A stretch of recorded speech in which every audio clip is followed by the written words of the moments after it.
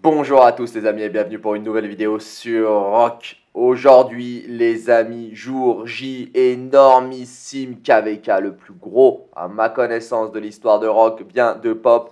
Les portes de niveau 4 vont ouvrir sur mon KVK qui reste pas moins énormissime, un joueur de ouf qu'on va aller voir aussi également. Mais avant cela les amis, comme d'habitude, si ce n'est pas encore fait, n'hésitez pas à vous abonner à la chaîne en cliquant sur la cloche pour être informé de toutes nouvelles vidéos. Et surtout les amis, n'hésitez pas à nous rejoindre sur le Discord de la chaîne. On frôle les 2000 abonnés sur le Discord. C'est le premier lien en description de toutes les vidéos. N'hésitez pas les amis. On y parle de tout ce que vous voyez dans les vidéos et bien plus encore. On va commencer comme d'habitude par les events. Vous le savez, on regarde, c'est la fin. Si vous avez bien bossé de Sang Jingyu éternel. Alors là, je ne comprends pas. Euh, dites-moi en commentaire d'ailleurs, regardez, j'ai un petit icône 1. Alors sur le calendrier des événements, les événements, on sait qu'ils vont pop. Je vous ai montré hier, on en reparlera quand ça aura pop. Mais sur Sangzingyu éternel, j'arrive pas à le faire sans accent. Sangzingyu, donc éternel, regardez, on est à 24 jours, 18 h 22 minutes et 23 secondes. Et regardez, tout est coché. Écrit x10 là, ok. J'ai tout qui est coché, je clique dessus. Mais pourtant, j'ai encore la petite pastille 1. Donc, où ai-je oublié de cliquer, les amis? Si vous le savez, dites-le moi en commentaire, ça me fera plaisir. Je suis peut-être complètement aveugle, ça arrive parfois. N'hésitez pas encore une fois. La roue de la chance avec mon poteau, mon ami Charlemagne, que j'essaie de débloquer. Vous le voyez, je suis monté à 15. Hein. Je suis à 8 sculptures, il m'en manque encore juste 2. Genre, j'ai eu 0 fois 8 sculptures, j'ai eu une fois 5 dans le coffre de 10 et 3 fois 1. Je vais me refaire mon petit tour gratuit, on va voir. Allez, donne-moi deux. Tu peux me donner deux fois 1 si tu veux. Voilà, il m'en manque plus qu'une. Il faudrait que je fasse un deuxième tirage à 50%, il m'en donne au moins une. Si tu m'en donnes 8, c'est vraiment un, t'es vraiment un rat. Non, bon, bah, je vais devoir me refaire des tirages. La question, est-ce que je me fais 5 tirages ou est-ce que je me fais des tirages un par un? Ça dépend, ça dépend, ça dépend. Un par un, c'est quand même des tirages de poissard.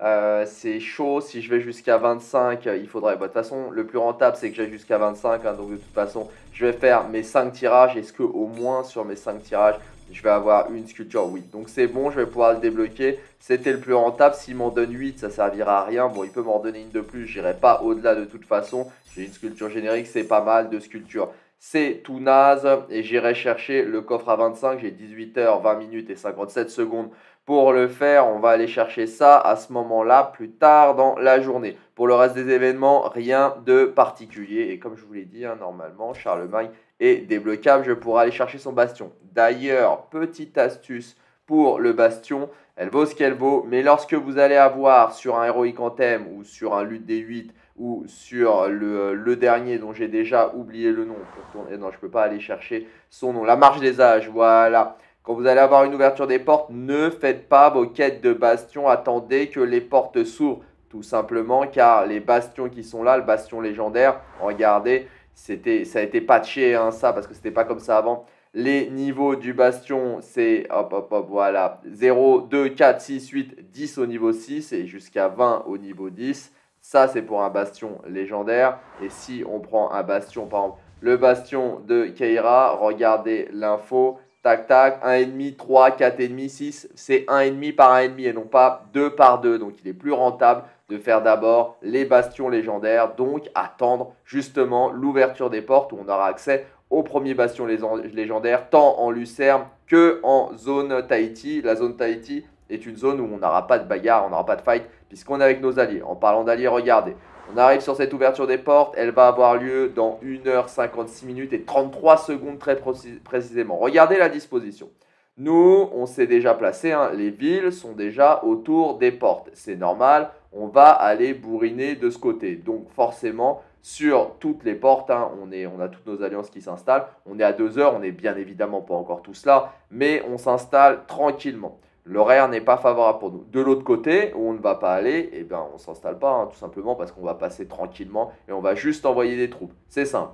Notre allié, le 1258, pareil, de ce côté-là, il n'a pas besoin de s'installer. Et de l'autre côté en face, en contraire, face au 1365, et eh ben c'est là qu'il doit s'installer. Donc il a mis ses forteresses, ses villes commencent à s'installer. On est vraiment sur du classique. Donc évidemment, le fight va avoir lieu en s'éliant au minimum et normalement en lucerne. Mais regardez ce que je vous disais hier.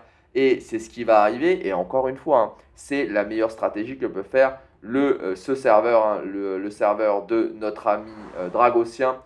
Parce que s'ils ne le font pas, ils vont vraiment avoir quelques difficultés par la suite. Ils sont en termes de puissance, normalement sur le papier, un petit peu moins puissants que nous. Donc forcément, ça les pousse à avoir plus de stratégie. Même si leur leader, ça reste des très gros guerriers. Hein. Sur le 1916, ça reste quand même une alliance qui, encore une fois, sur le papier, est moins puissante que nous. Donc, s'ils sortent maintenant Lucerne, il est probable qu'on leur roule dessus, ou du moins qu'ils essuient énormément de pertes. Nous aussi, mais normalement, on doit sortir gagnant de ce combat-là. Donc leur meilleure stratégie, serait d'attendre, hein, de prendre San Pedro, de, que le 1365 fasse le taf en s'éliant, puisqu'il est plus puissant que le 1258. Et donc, il serait plus puissant pour venir nous affronter à deux en Sakaka. Car regardez, si on regarde leur porte 4, il n'y a aucune euh, ville euh, qui est installée, enfin aucune, j'exagère, mais pas beaucoup de villes installées, hein, regardez. Il y en a à peine une dizaine de quoi lancer un rallye et le remplir. Hein. Du côté des AP, bah, il y a 3 euh, villes, 4 villes, c'est normal, c'est une alliance de sub, on l'a vu hier à 4 milliards. Et sur l'autre porte, on se dit, ils vont peut-être passer au nord, ils vont peut-être bourriner sur l'autre porte. Sur l'autre porte, il n'y a rien du tout. Hein. Il y a une, deux, trois, quatre, il y a 4 villes sur ce côté-là, et il n'y en a pas de ce côté-là. Donc, on est à 2 heures d'ouverture. Hein. Encore une fois, il y a du temps, mais il est possible, voire très probable, que nos adversaires du 1916 ne sortent pas en Lucerne. Ils vont possiblement et probablement, et d'après euh, notre ami Vest, qui je pense a raison, ils vont aller poser une forteresse à côté du, du, bastion de Minamoto, le temps de le prendre et de faire les quêtes et de récupérer les rewards, mais ça va se limiter à ça. À mon avis, on va bien voir. En tout cas, nous, on est chaud. On va sortir en force là-dessus. Ça va être tendu pour eux comme pour nous s'ils sortent, mais ça sera une méga baston. Ça serait dommage s'ils ne sortent pas, ça voudrait dire qu'on devrait attendre encore une semaine avant d'avoir des premiers combats. Hein. Les premiers combats auraient donc lieu au niveau euh, des, euh, des hôtels des ténèbres, hein, avant l'ouverture des portes bien évidemment de niveau 7, et c'est là qu'on aura une méga zone de fight mais ça va être très très intéressant stratégiquement s'ils font ça, s'ils viennent pas se battre en Lucerne, même si on aura le somme de ouf. En parlant de somme de ouf, de méga KVK et de méga joueurs, je vous en parlais en intro, on va parler d'un joueur énormissime, sans doute le plus gros guerrier, le plus gros combattant, le plus gros joueur, pas en termes de puissance, mais sur tous les autres superlatifs de rock. Il est bien connu ce joueur. Regardez, il s'agit de notre ami MF. MF qui est un joueur énormissime. Regardez TSN MF. Sa puissance n'est que de 475 millions 328 239, ce qui reste énormissime. Point de meurtre 16 milliards 730 millions. Alors à ma connaissance, c'est le numéro 1 en point de meurtre. Hein. Euh, donc euh, Alliance PK, MF, il est passé sur pas mal de serveurs hein, MF. Donc 16 milliards, presque 17 milliards de points de meurtre, il me semble qu'il est premier. Un joueur qui plus est extrêmement sympa, MF, très gentil, tout le monde peut lui parler, il répond à tout le monde. Vraiment un très bon euh, guerrier, une très bonne mentalité. Regardez ses points détaillés à ce joueur. Si vous avez plus gros sur votre serveur, n'hésitez pas à me le dire en commentaire ou à mettre les screens sur le Discord. Car là, à ma connaissance, hein, il n'y a pas plus balèze en points de meurtre. Puissance la plus élevée, 603 790 000. Nombre de victoires, bon, 484 000 de défaites. Regardez, le ratio est très très positif pour lui. Hein. Il doit être à 90% de défaites. Hein. Ça doit faire ça, 89, 90. Euh, envoi d'éclaireur, ça compte pas. Mort, 159 468 000 morts. Presque 160 millions de morts. Pareil, je ne connais pas de joueur qui a plus de 160 millions de morts. Ressources récoltées, seulement, seulement 7 milliards 860 millions. Aide en ressources, regardez-moi cette aide en ressources. Le mec aide de ouf tout le monde. 232 milliards. Là, encore une fois, si vous avez plus gros, soit en point de meurtre, soit en nombre d'aides en ressources, n'hésitez pas à me le mettre en commentaire parce que là, il est énormissime. Pas au point de meurtre ou nombre de morts ou aide en ressources, pour moi, il est numéro 1 à ma connaissance. Donc MF, DTSN, très ancien joueur, il a commencé à jouer dès le début. Vraiment super sympa et je voulais vous montrer donc ce plus gros joueur à ma connaissance Côté euh, serveur, euh, je dirais européen américain, et parce que côté asiatique, hein, sur le client chinois, il y a des joueurs tout aussi gros, mais je n'ai pas encore accès à toutes ces données. D'ailleurs, Daenerys, si tu m'entends et que tu as les stats, je veux bien que tu me les envoies. On va passer à présent, les amis, à ce qu'on attendait tous, le KVK de la mort à Pop cette nuit et Lilith a exaucé les souhaits de tous ces gros royaumes. Regardez, on va tout de suite aller voir, on va taper 1254 pour une fois. Regardez-moi ce KVK. On se retrouve avec 8 royaumes impérium ensemble en lutte des 8. 1945, 1664, 1474, 1093, 1846, 1556, 1254 et 1075. Alors, le 1556, il y a beaucoup de joueurs dont faux, très connus. 1254, Bunny, Desquad, 1075, Shizgul, qu'on ne présente plus. On va regarder la répartition. Les équipes sont déjà faites. On sait qui est où, on sait comment ça va se passer. Regardez, c'est extrêmement intéressant de suivre ce genre de KVK. On se retrouve donc avec le 1846 qui sur le papier, selon les stats de Lilith, est le plus puissant puisqu'il se retrouve en haut à gauche. Le 1556, deuxième plus puissant, il se retrouve en haut à droite. Le 1254, troisième plus puissant, il se retrouve en bas à droite. Et le dernier dans l'ordre des 4, mais hors podium, le 1945, en bas à gauche, quatrième plus puissant. Ensuite, le cinquième, 1075. Le sixième, 1093. Le septième, 1664. Et le moins puissant selon Lilith, 1474. Donc, la disposition, certains pourraient dire la disposition est à l'avantage du 1846 et du 1556 car ils enferment le 1075. Ce n'est pas mon point de vue. Mon point de vue est que la répartition est très équitable puisque le 1075 peut être enfermé par les deux gros. D'accord mais le 1664 peut être enfermé aussi par les deux plus gros du camp d'en face. Donc c'est assez équitable. Et je dirais même que dans ce système d'enfermement, de, lock, le 1254 euh, et ses alliés ont même un avantage car le 1075 est capable de faire le taf sur le 1846. Il n'est pas capable à mon avis de le battre, mais c'est un énormissime royaume comme le 1846. Donc ça peut être très intéressant.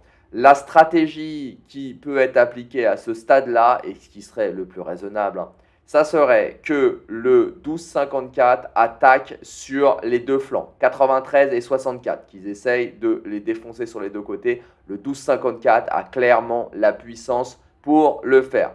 Le 1945, qu'il aille sur le 1664 à fond, il n'a que cette zone à combattre. Le 1474 et le 1075, il faudrait eux également qu'ils attaquent sur le flanc du 1846.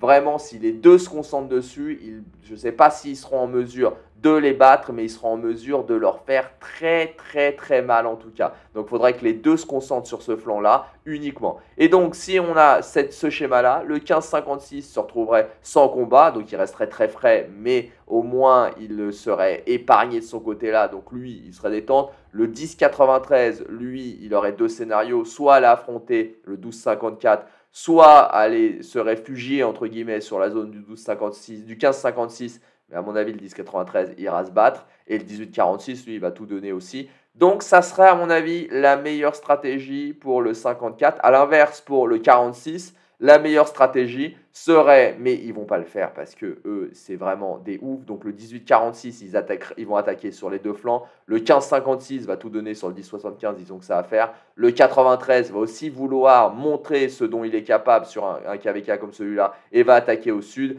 C'est bien pour ça que la stratégie, pour moi, petit avantage, alors en termes de puissance, avantage, clairement, gros avantage à l'alliance du 1846 et du 1556. En revanche, en termes de stratégie possible au regard des royaumes, le 1254 et le 1075 peuvent avoir un léger avantage. Je dis bien un léger avantage, hein, parce qu'encore une fois, sur ce genre de KVK, les royaumes sont tellement énormes qu'ils sont tous, chacun individuellement, capables de faire la différence. On va suivre ça de près. C'est un KVK lutte des 8. Donc en lutte des 8, il n'y a pas de brume, de brouillard, de tout ce qui est relou. Donc on va pouvoir voir ça très rapidement. L'ouverture des portes arrive après 7 ou 9 jours. 9 jours si je crois bien, si j'ai bonne mémoire. Donc 9 jours, ça va aller très très vite. Pour le moment, pendant 6 jours, ils sont en pré-KVK. Je vous montrerai régulièrement, je vais essayer quotidiennement de vous montrer les stats de leur pré-KVK qui forcément vont être énormissimes. Il n'y a que des mecs à la CB infini partout, sur tous les royaumes.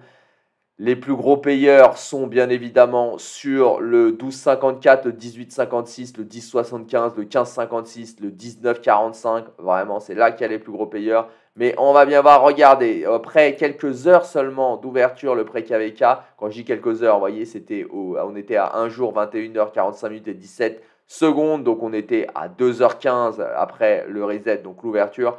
On avait déjà des royaumes qui ont commencé à bourriner. Cette phase-là, c'est la première phase. C'est pas celle où on sort la CB, bien évidemment. Celle où on sort la CB, ça va être par la suite. Celle-là, c'est plus une phase, la 1 comme la 3, les phases où on va pouvoir voir les actifs vraiment sur le royaume. On le voit, le premier était Lugal hein, en terre, hein, donc euh, on le sait, c'est le royaume 1075, le royaume de Shizgul. Ils sont connus hein, pour essayer tout le temps d'être premiers au pré-KVK, mais à mon avis, le 46, le 56, le 45, le 54, ils ne vont rien lâcher, même pendant ce pré-KVK.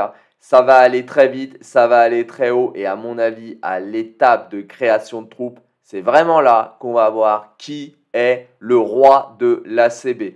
Sachant que sur tous ces royaumes-là, il y a des joueurs qui n'auront aucun scrupule, aucun problème à mettre des 20, 30, 40, 50 000, voire 100 000 dollars dans le jeu juste pour un pré KVK.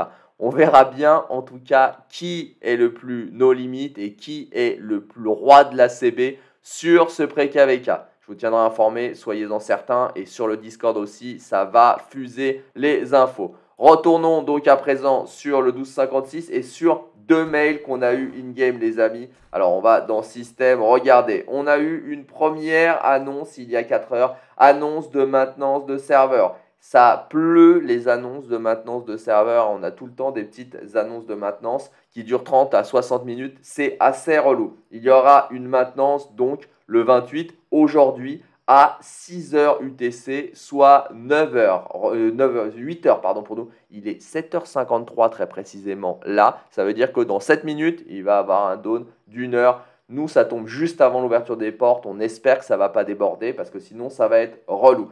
Ils sont désolés, ils ne nous disent pas pourquoi. Hein. Maintenance d'optimisation, c'est déjà la deuxième cette semaine. Il doit avoir quand même un gros problème. On a eu un deuxième mail, optimisation, offre spéciale journalière. Nous avons décidé d'apporter quelques changements aux commandants disponibles dans le lot offre spéciale journalière autour du 28 octobre à des fins d'équité après que notre entretien avec les développeurs a révélé la façon dont certains gouverneurs pouvaient avoir accès à des commandants beaucoup plus forts que d'autres gouverneurs dans la même saison de Royaume perdu. N'oubliez pas de consulter les pages d'événements pour connaître les changements spécifiques. Hein. Oui, on veut connaître les changements spécifiques hein, qui apparaîtront, blablabla. Il nous parle de, des échanges avec les développeurs, mais ça fait un certain temps hein, qu'on n'a pas eu euh, de, euh, bah, d'échange avec les développeurs, donc on ne sait pas trop de quel échange avec les devs il parle. Peut-être qu'il y en a un qui a pop ou qui va pop dans la journée, et donc ce sera l'occasion d'en discuter et de voir les retours de ce que nous disent les développeurs. Je vous rappelle, le dernier dev feedback vraiment qu'on a eu était une optimisation hein,